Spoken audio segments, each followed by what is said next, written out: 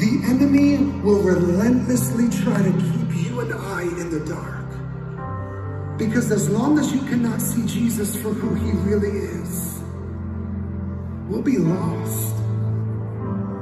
The enemy wants to convince you that you can be enlightened by all of these other things.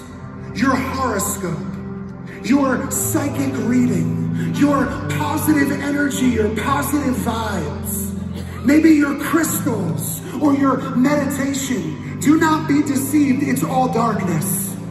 And you know what the Bible says in Second Corinthians chapter 11 verse 14? It says that Satan himself masquerades as an angel of light. He fronts as an angel of light. He portrays himself as this harmless being who will show you the things that you want to see, who will help you understand the things that you're confused by.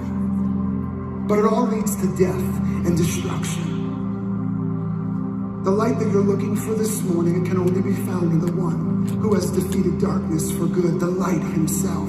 Anything else, anyone else, anywhere else, it's counterfeit. And can I also just say this today? Would you be so careful what you open the door to? Because that darkness doesn't just want a piece of you, it wants all of you.